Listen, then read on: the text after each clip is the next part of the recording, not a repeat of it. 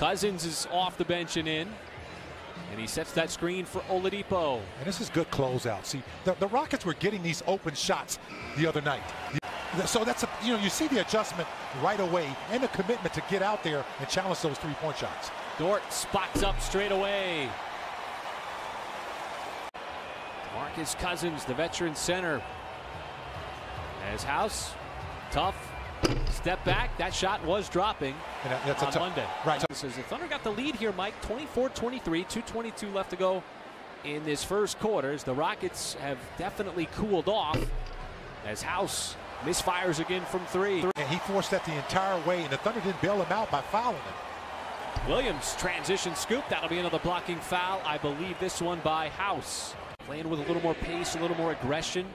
Energy certainly engaged here in the early part of the second quarter as House. Boy, reverse layup. Coming up on four minutes gone by here in quarter number two.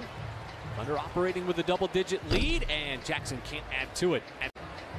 Well, the Thunder defense has really clamped down here on the Rockets, who just committed another turnover. they didn't know what traveling was back then. House, another three as he is laying bricks here in this first half. Diallo charging forward. Knocked over Oladipo. Bazley left wide open.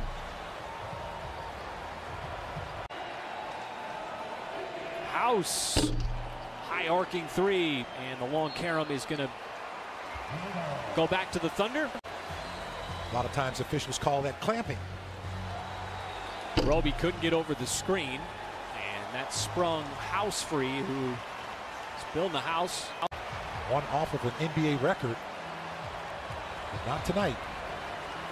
And it wasn't on that shot for Maledon. Another offensive rebound for Williams. Reload three there for Muscala.